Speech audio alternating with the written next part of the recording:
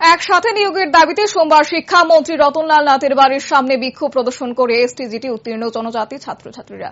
এই ব্যাপারে উত্তীর্ণ জনজাতিদের দ্রুত নিয়োগ করার জন্য রাজ্য সরকার তথা শিক্ষামন্ত্রীর কাছে দাবি রাখে এসটিজিটি উত্তীর্ণ জনজাতি প্রার্থীরা। প্রায় সাড়ে চারশো থেকে পাঁচশো জন জনজাতি এসটি উত্তীর্ণ রয়েছে। এই এসটিজিটি উল্লেখ করেন বিক্ষোভকারীরা।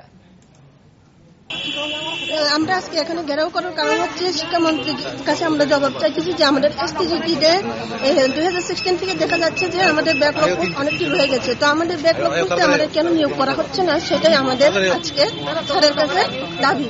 যে আমাদের এসটিতে একসাথে টু থাউজেন্ড টোয়েন্টি টুতে যারা কোয়ালিফাই করেছে সবাইকে যাতে একসাথে নিয়োগ করা হয়। আচ্ছা এখন পর্যন্ত কতজন নিয়োগ করা হয়েছে? এখন পর্যন্ত আমাদের এসটিতে মানে পরীক্ষা হয়েছে এখন পর্যন্ত নিয়োগ হয়নি। আপনার জনজাতি কতজন আছেন এখানে? কতজন হইব এখানে জনজাতির অ্যাসিস্ট্যান্ট সাড়ে চারশো থেকে পাঁচশো জন কোয়ালিফাই করেছি আমরা এসটিরা তো আমরা চাইছি যে সবাই যাতে একসাথে নিয়োগ করা হয় সবাইকে। শিক্ষামন্ত্রীর সঙ্গে কথা হয়েছে আপনাদের? স্যারের সাথে আগে কথা হয়েছিল।